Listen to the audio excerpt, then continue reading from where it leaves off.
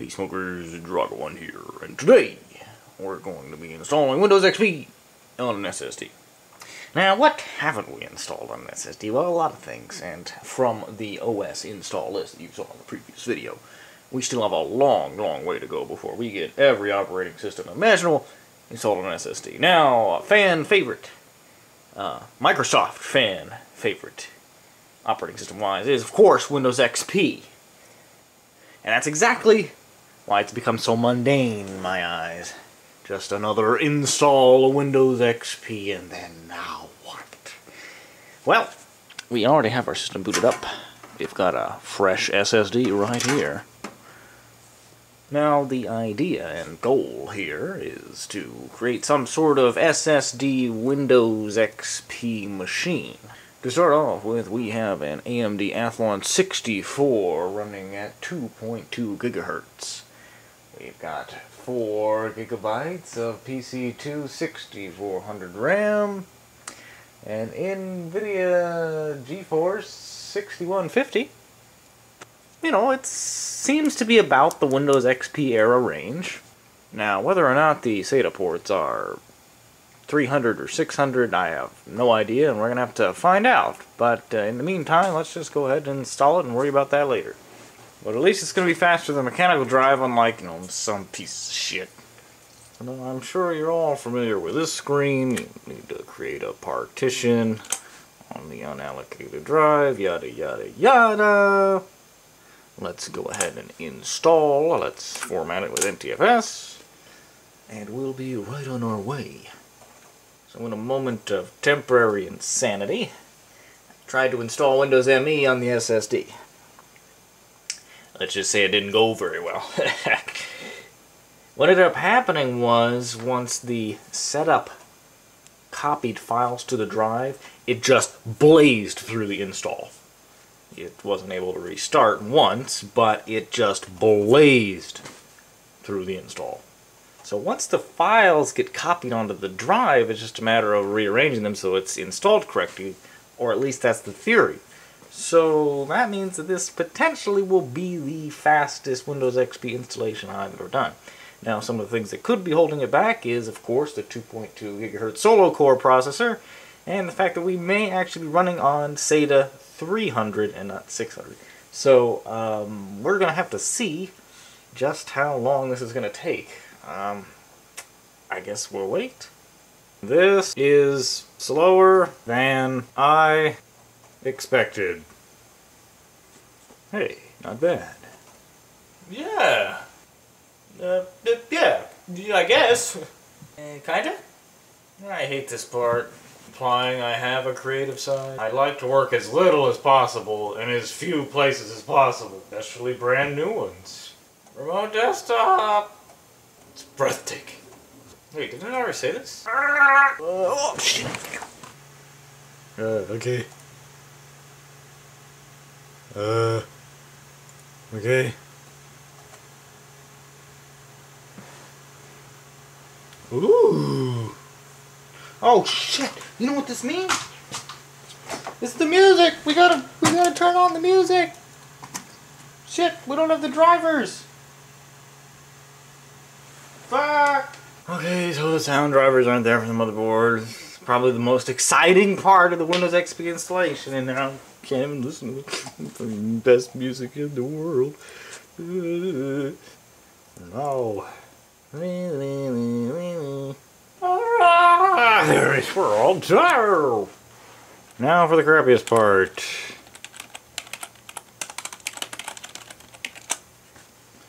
oh, man. The most crucial elements, the sound and the video we don't have either. Everything else works, of course, it usually does. It even has a driver for my... For some reason it thinks the uh, SSD is SCSI.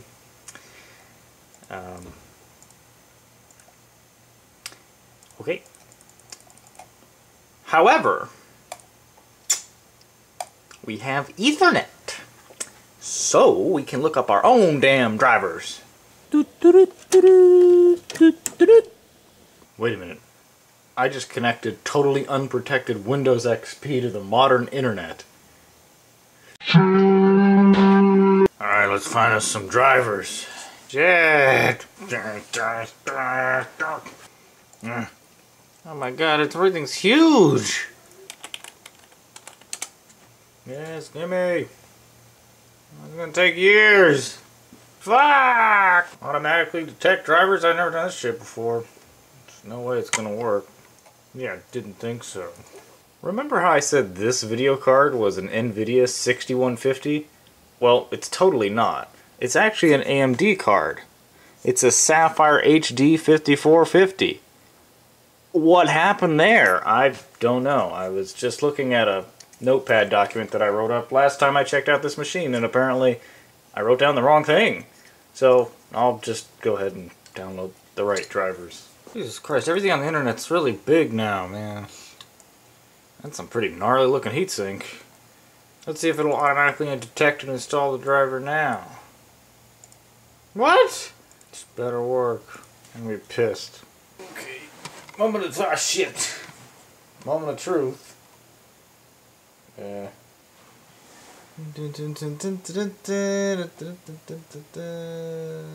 What the hell's HydraVision? Sounds cool. Let's get it. Balls, that was quick. Yes. So let's see how long it takes to do our sales reboot. When I see that BIOS screen. Close enough.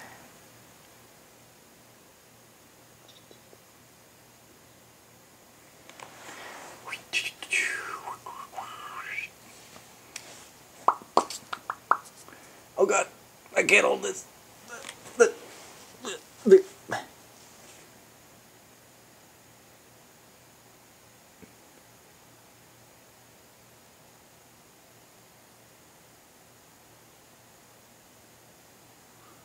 Let's call that a boot. 30 seconds, not bad. Uh, pop this shit back up again right when I'm...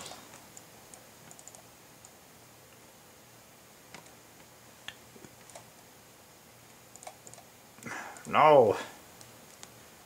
Yes. Oh, let's...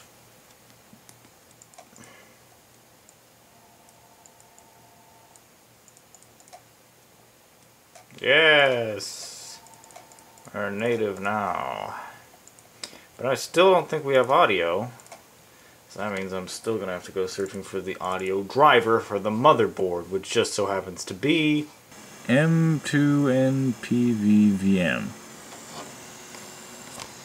Uh, what brand is it? I can't tell. Fuck it, I'll just Google it. Oh, that's why I got the GeForce 6150. That's the integrated graphics on the board, not the dedicated.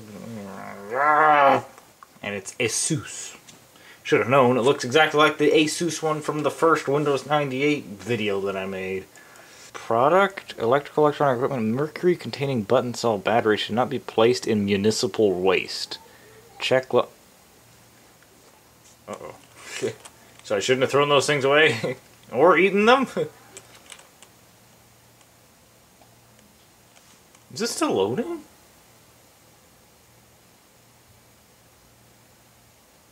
What the fuck? Whoa, shit! With all these driver sites being so difficult today. I can't click it. Oh, I can click. What the fuck? SoundMax. Yes, yes, yes, yes, yes, yes, yes. See how we're doing so far, though.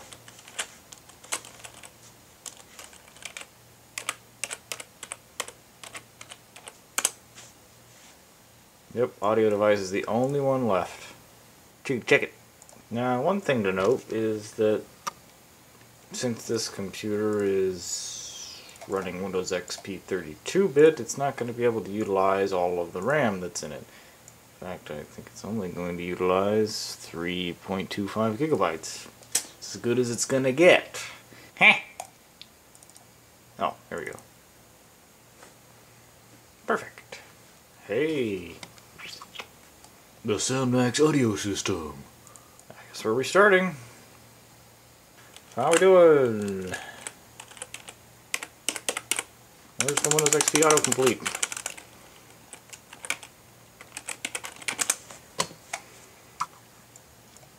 Oh, I like the look of this. No yellow triangles with exclamation marks in them. We got everything here from sound to display adapters. It's all working just fine. So this is now working perf. We got all the drivers installed. So, of course, that begs the question, now what? And this is the part I dislike the most because there's just so, it's full with potential and there's so many different things I can do and any one thing I could choose to do wouldn't do it justice for what I could do with a solid state drive.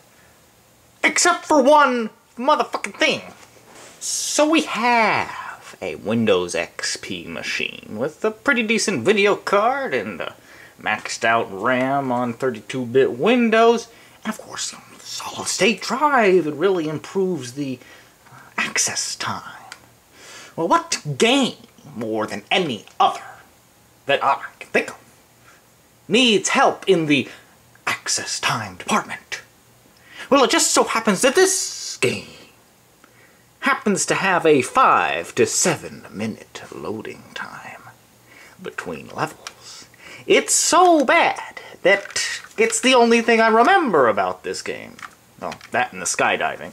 But really, seriously, the loading times for this game are ridiculous. So if we install this, and assuming it doesn't have to use the CD to read from after every level, then we might have a chance of cutting those loading times down. That's just a theory. Really what this is going to do is to test to make sure the video card's working, whether or not we can play this at a decent frame rate, yada yada yada. It's an XP game because where's the system requirements? It's not on here. Who cares? Let's just try it.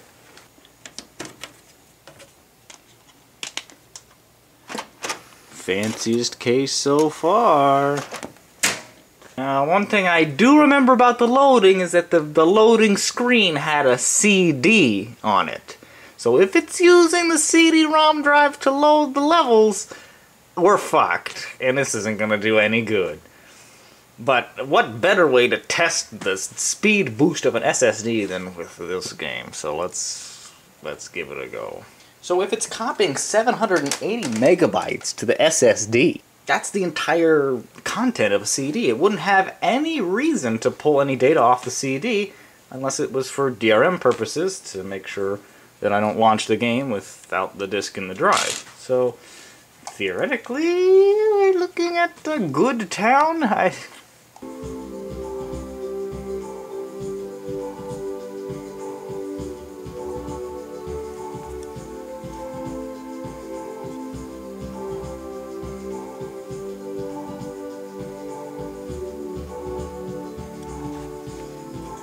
ah! Let's play this bitch. That was fast. I used to waiting for loading a lot more for that to come up. 2001, holy balls. That's the same year the Windows XP came out. Here's the loading screen. The infamous loading screen. No optical drive access time. Not bad. Alright. Sometimes these loading screens can take up to, like I said, 5 to 7 minutes.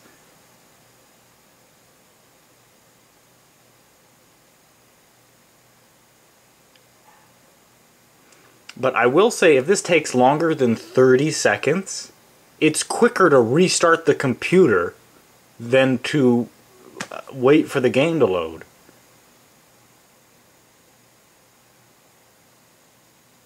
I think it was about 32 seconds from the BIOS screen. My arm's gonna get tired.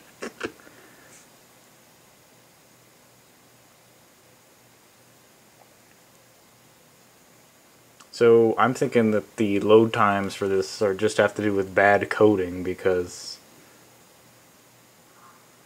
you almost could have restarted the computer twice.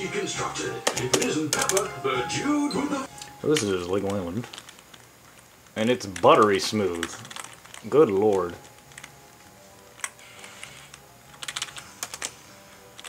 Graphics, fog distance, high detail on, primary resolution,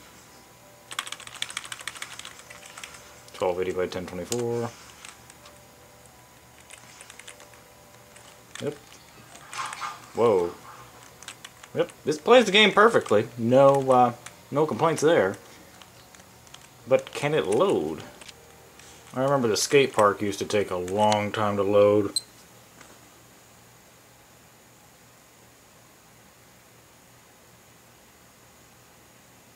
So when you're a kid and you're excited and hyped to play your new game that you just got, and you're like, oh yeah, let's go to the skate park.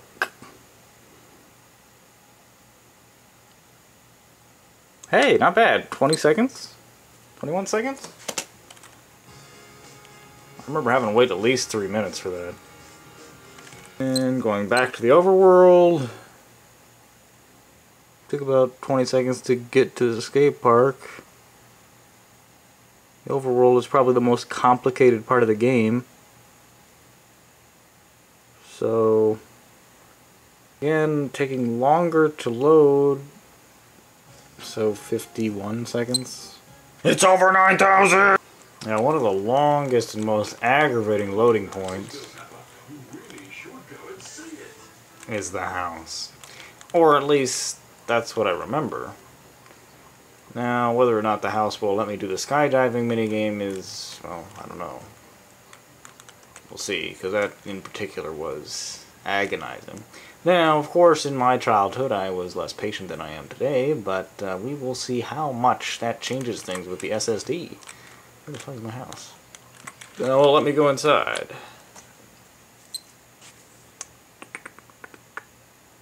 Now, let me just remind everyone that the interior of the house... Oh, that was fast.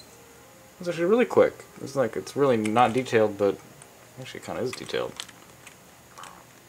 And the funny thing is, before this actually loaded up, is I remember specifically that inside this house was higher FPS. It was way smoother in here. Now that I'm playing this, it's the opposite. This is actually lower FPS than anywhere else. So this is where the trophies are kept. That's his badass looking computer. And uh, several box sets, big box game sets of different LEGO games.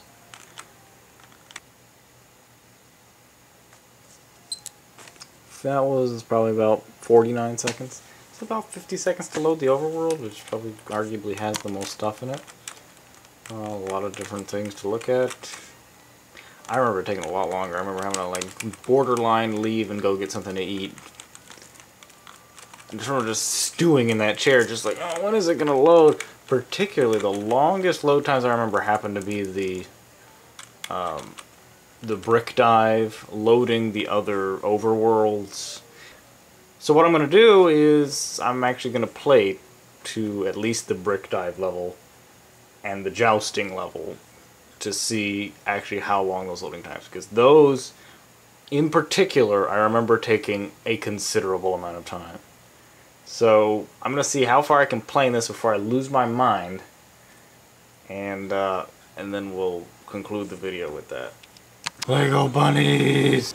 Okay, so this is the part that takes a really, really long time to load. Oh god, this is uncomfortable. Not bad, not as bad as the regular overworld. But actually, that's not a bad loading time, although I will say that pretty much every other modern game in existence has a better loading time. So, uh, let's load up the brick dive level, and then finally the jousting, and we'll call it quits. This is loading up the brick dive minigame. Dive Holy down to the shit! avoiding any obstacles you see. I remember that being much harder.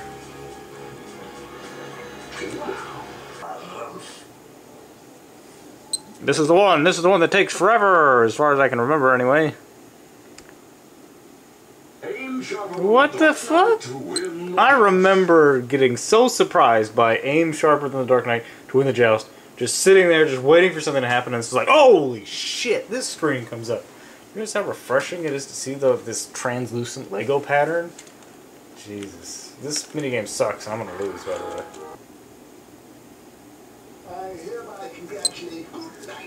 That is definitely improvement. All right. So there you have it.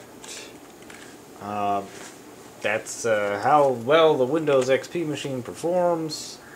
Uh, seems to take those what appeared to be uh, five, six, seven, eight minute load times down to under. A Still a little bit above average for my taste, um, but uh, I, I I think it, we've made a little bit of an improvement. So this has been Druaga One signing off, and hopefully we can install more operating systems on SSDs next week. Thanks for watching. Bye bye.